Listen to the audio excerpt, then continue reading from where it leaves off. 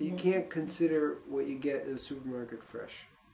Just being organic means you're not putting in the carcinogens that can be stimulating these things. Mm-hmm. So that has a very high priority. Mm-hmm. Because in children, their bodies are really small, so the same amount of pesticides and herbicides coming in really is worse. That's a really concern. So if we're going to consider you're going to take carcinogens and you're going to have six times higher level of pesticides and herbicides in your body, and basically there's really no fresh food unless you're growing it your own, I just soon go with organic that is maybe, you know, not fresh versus commercial it's not fresh. Mm-hmm.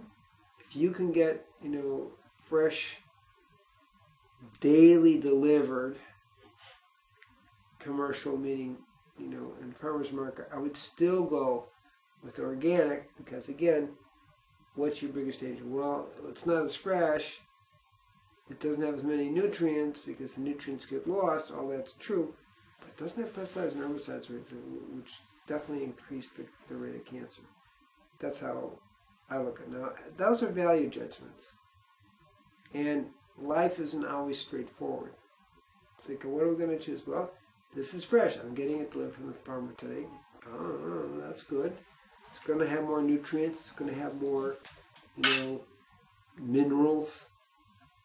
But it also has more pesticides and herbicides. Okay, that's your consideration.